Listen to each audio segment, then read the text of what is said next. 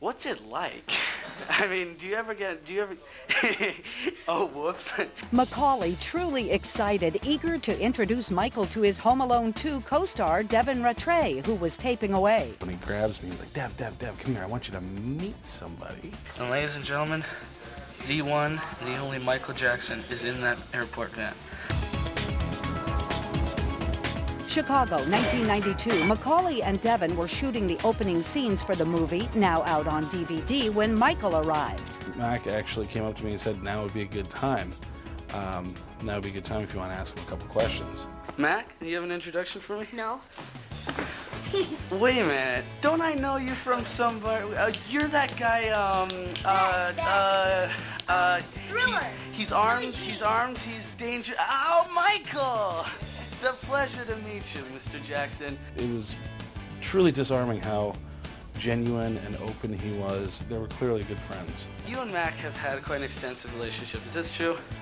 Yes, I mean- we've known each other for about four years now. Four years? Four or five years. How did you guys meet? We met, um, what was it? Lincoln Center. Lincoln Center? He's in the Nutcracker. You were in the Nutcracker? He's a Great dancer. Mac's a great dancer. He is?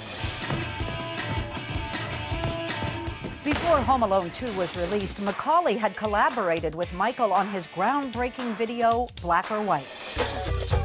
Michael wanted the Home Alone director Chris Columbus to direct Black or White, but he declined. He would call me at night for like an hour at a time just to talk.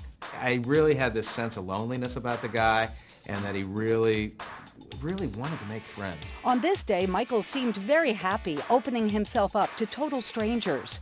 After Michael's death, Devin, who can be seen in the thriller Surrogates, out September 25th, found the video he'd made 17 years ago. I wanted to show this other side of him, how how truly nurturing and genuine and nice he was. And I hope that we get to hang out soon off camera, okay? Okay.